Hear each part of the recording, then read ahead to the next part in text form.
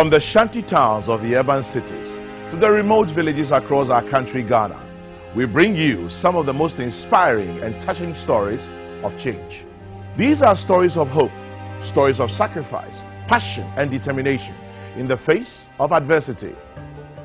Welcome to season three of the MTN Heroes of Change, brought to you by the MTN Ghana Foundation and MTN, everywhere you go.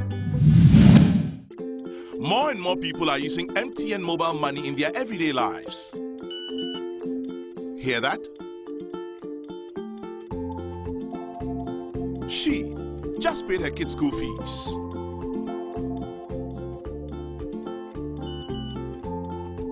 She just paid for her lunch. And this man just paid his tithe. And this guy just paid for his shoes. Nah, nah, no, no. You just send money to the old lady again, It's eh? very necessary. It's very necessary. It's like money in your pocket. Keep up with the times. Got a payment to make? Just Momo it. It's that simple, secure, and convenient.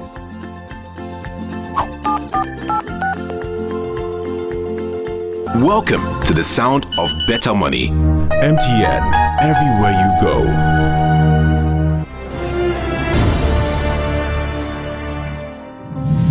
The MTN Heroes of Change over the last two seasons has been rewarding the extraordinary and selfless work of individuals serving their communities. Last season, the overall winner of the MTN Heroes of Change received 100,000 cedis to support their project. This edition is no exception, as 10 nominees will be hoping to impress our judges and win our hearts with their projects. Remember, you also get the unique opportunity to determine who becomes the overall winner of this season's MTN Heroes of Change by voting and texting. Our heroes are community crusaders, health providers, and facilitators. They are also strong advocates of education and undertake initiatives to empower their communities economically. Madame Paulina Opey was our overall winner for last season with her project of sheltering orphans and needy children. What has she been up to? Let's find out. My name is Paulina Priscilla Ope. I take care of babies who have lost their mothers through childbirth in the rural communities. in recognition of over 22 years of great personal sacrifice and your contribution to socioeconomic development, MTN awards you, Madame Paulina Pay, the overall MTN Hero of Change for season two. The Chief Executive of MTN Ghana, Mr. Ebenezer Santos, the presentation to the Hero of Change, Paulina Ope. A trophy Actually, I was not expecting to be the ultimate winner of this uh, program. And uh, I was so overwhelmed when I was selected as the ultimate winner. In fact, I'm short of words. It hasn't been easy. It's all a surprise. In those years, in the 80s, when I was posted to Agroyesum Hospital, where the Buruli ulcer, we have been working on it, coupled with maternal deaths and a whole lot of issues going on there, I dedicated to saving lives, especially of little ones. And I thank God that MTN have seen me and brought me here. Me, who am I, to win such an award? the MTN Heroes of Change. It has uh, helped me to be recognized in, nationally and internationally, and it has also opened doors for my program. My name is Rakasa Akodiade. Um, I'm a product of Save Our Lives Ghana in Amyankwanta. When MTN came here last year, and I was having some challenges, especially in the final year. So when mom won the prize, I was given some amount to pay for the final semester. After receiving the amount, I was able to enroll 16 children from this facility into the primary school. Seven junior high students have also been enrolled into the boarding school in Kumasi. I, also, I have also started health education programs to reduce teenage pregnancy in my district because the, our district ranks the highest or the first. My name is David, one of the products of Save Our Lives Orphanage. And uh, currently, I'm working at Judo Company Limited. After the interview and everything was showed on the television, I, I mentioned in the interview that like I had no job. I've completed school and I had no job. So afterwards, like somebody just granted me a job. 50% of the amount has also been into the establishment of two main blocks for our school. I don't even know what to say about what uh, MTN has done for Save Our Lives. And I want to thank them sincerely from the depth of my heart. Through this uh, award, I have also been recognized internationally that I'm doing something good for uh, disadvantaged uh, children.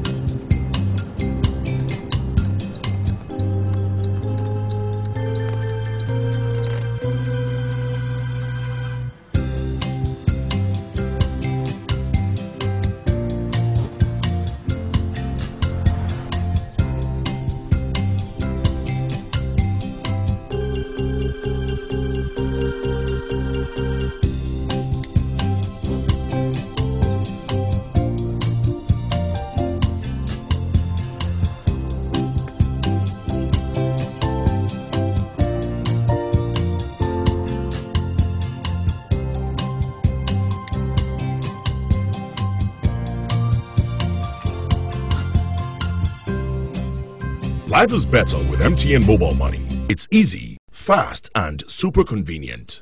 Experience the new world of better money. Apam Senior High School is one of the prestigious high schools in the central region, serving the Gomoa West District and surrounding communities. The school, over the years, has become a victim of its very own success with a rise in number of applicants with inadequate facilities and structures to match the numbers. Now guess who showed up to help save the situation? Wherever you go in Ghana, there's an MTN Foundation project making a difference in the lives of the people. Here is one such story. When I came to this school, Apam Senior High School, my first year, during my first year, we were having problems with ventilation. We couldn't have air to sleep. We didn't have the fresh air. When we were in the old house, we had a girl who contracted um, chicken pox and due to the overcrowding in the house, many of the girls got that disease and they were sent home for treatment. Both boys and girls side, we have a, a very big congestion over there. But since the girls are outnumbering the boys, we have more problem at the girls' dormitory. So many students apply to be admitted into the school, but because of such limited resources, it is, uh, it is serving as a barrier for us to be admitting more students into the school.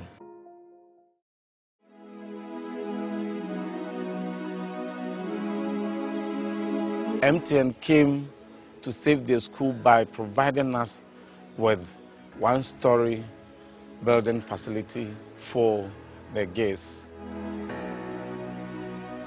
This new building has given us a space for us to learn very well. It has prevented us from contracting diseases from our fellow friends. Compared to the old house, we were overcrowded there. But the new house, each student have a single bed. We can discuss and share our views, and there is enough ventilation compared to the situation we had in the old house. This house can now take about 250 girls, which has really helped the system a lot. And managing the girls now is better than uh, before we had this structure. the day MTN came to hand over the facility to the school as a joyful day and a colorful ceremony, and I was particularly happy.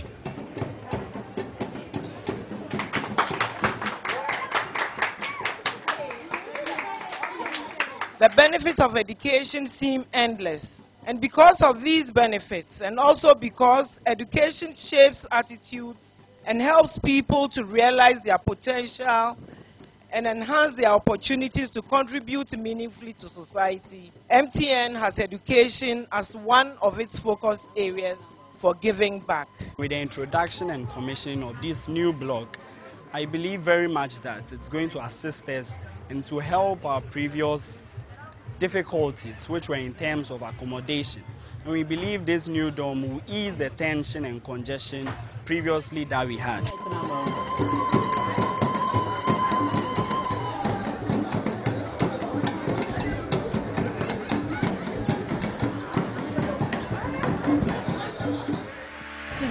Are so comfortable and we are so grateful to MTN Ghana for your support, for your kindness and being benevolent to APAM Senior High School. I want to say a very big thank you to MTN for providing us the new house for students to get enough space to learn. On behalf of GES, Board of Governors, Management, and we are very grateful to MTN for coming to our aid to ease the congestion in the school for us.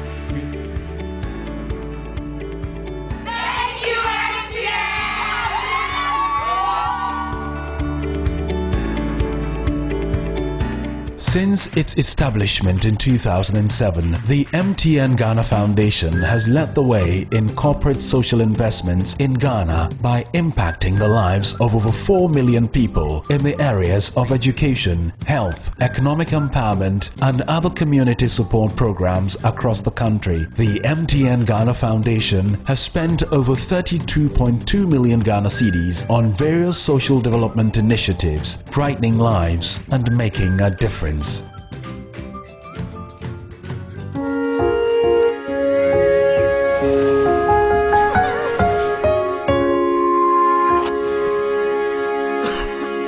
How to create light.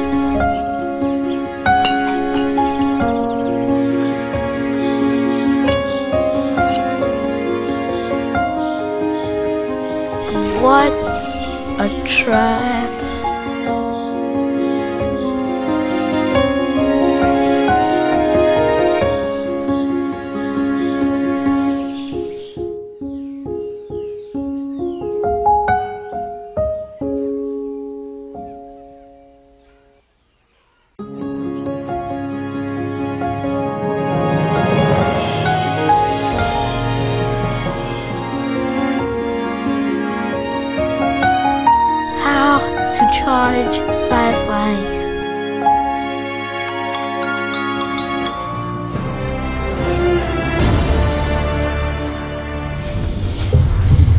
In our very, very first story, we traveled to the Upper East region to meet Joseph Asaki Bean from Sirigu.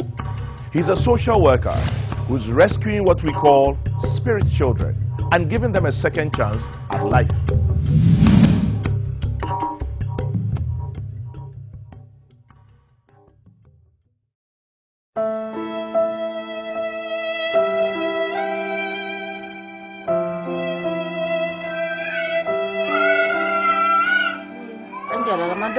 I brought off uh, Angela in the hospital.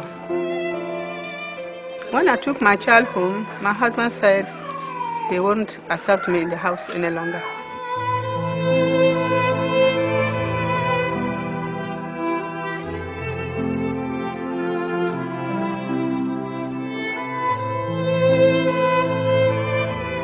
My uncle wife gave birth to a boy, and in four days' time, there was a problem in the house. And actually, they went to consult the suicide ancestors. And they came and said the child is a spirit child. So they went and brought a man called a concoction man who actually prepared the herbs and gave it to the child to die. So it pains me because at that time I didn't know why they should kill that innocent child.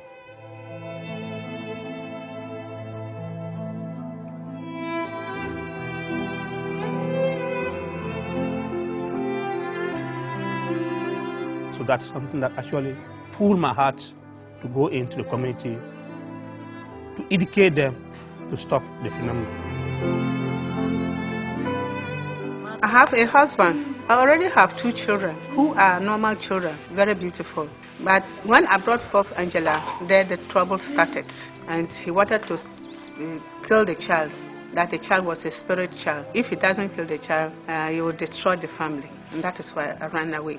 It's malnutrition and medical conditions that actually cause that practice to be happening in my community. The action that I took was to meet with the concoction man first, for him to explain to me why he needs to actually administer the concoction to the child. So he explained to me that it's a traditional practice, something that I've come to help from the forefathers.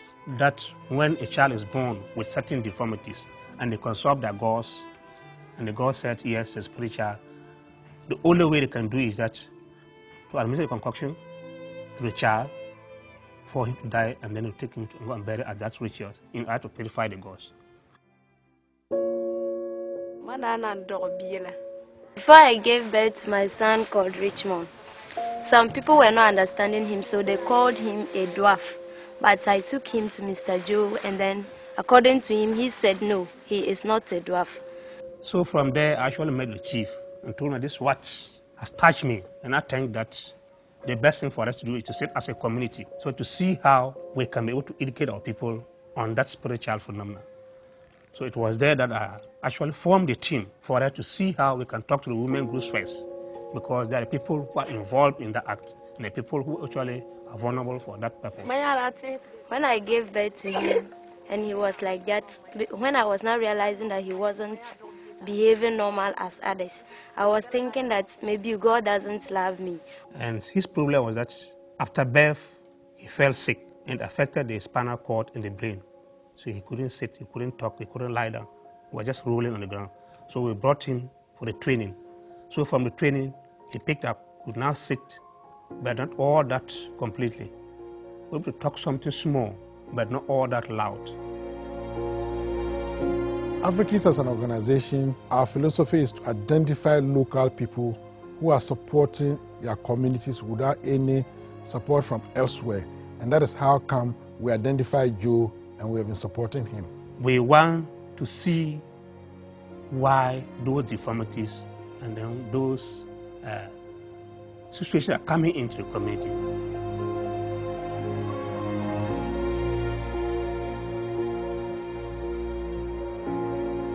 Currently, the CP children that we're doing needs assisted devices, which are highly valuable because for us to export them or to bring them inside the local is highly impossible for them. Most of the communities that we want to actually educate them on the spiritual phenomena, we need money to do some small sectional talks, the devas, and to also put informants in place for this a sensitive thing that we're doing. People can hide on carpets to do it. At the same time, some of them need operations, medical operations.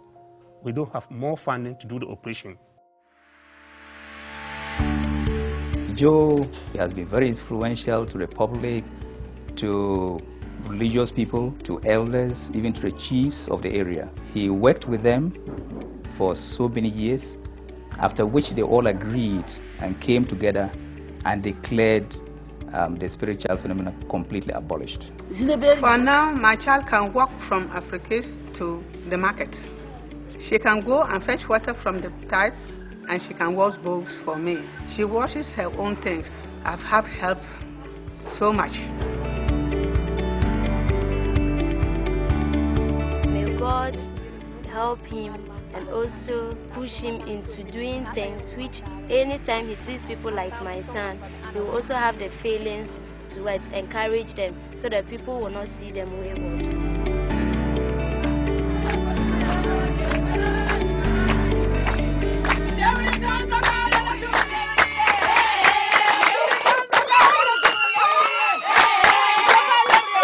My dream is that we have a special school in the region, if possible, in the Kassena-Nankana West district. So we do cater for children like Richmond that have a potential in the future.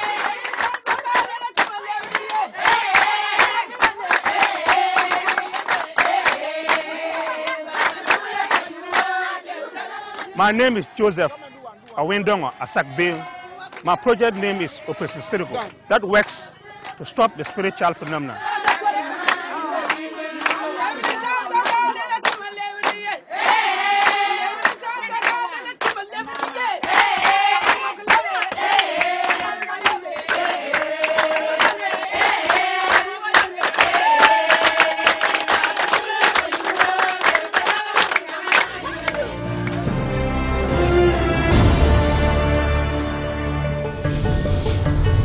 We hope you've been inspired to make a difference wherever you are. If you want Joseph Asaki Bean to be the overall winner of the MTN Heroes of Change, text Joseph, the short code 1406 on all networks. You can also send your comments and thoughts to our WhatsApp number 0554 222 222 or post on any of our other MTN social media handles displayed on your screen. If you know great individuals who are not part of our final 10 but are making a positive impact in their own small way, go to our Facebook page and post their picture. Tell us how they're making your community a better place. You stand a chance of winning fantastic prizes. In next week's episode, we'll meet Reverend Monsignor Bobby Benson and his family members at Matthew 25, not in the Bible, but in Koforidua, working together to remove the stigma surrounding HIV AIDS. MTN Heroes of Change is brought to you by MTN Ghana Foundation and MTN everywhere you go.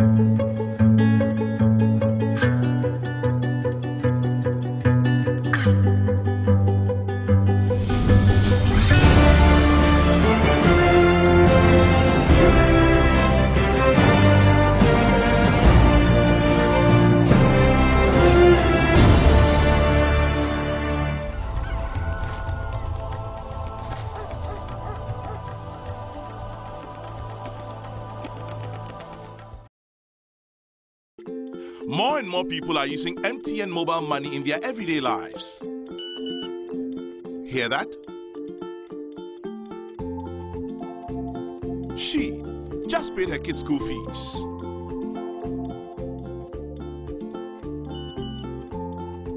She just paid for her lunch.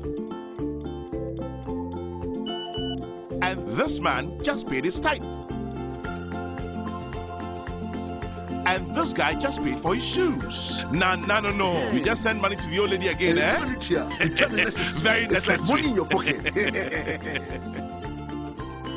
Keep up with the times. Got a payment to make? Just Momo it. It's that simple, secure, and convenient.